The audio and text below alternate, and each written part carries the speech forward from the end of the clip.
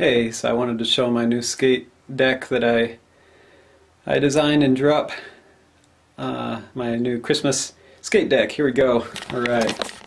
So, here it is. Let's see in its full glory. Yeah.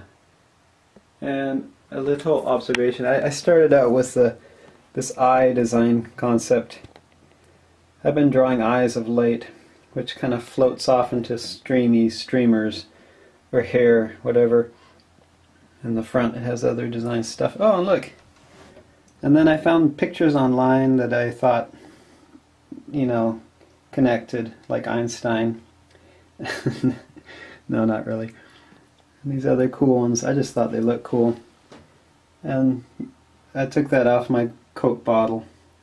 And of course, a dragon and some I got I got oh I got these rails at Zoomy at Zumiez you know so I got stickers at Zumiez a couple days ago.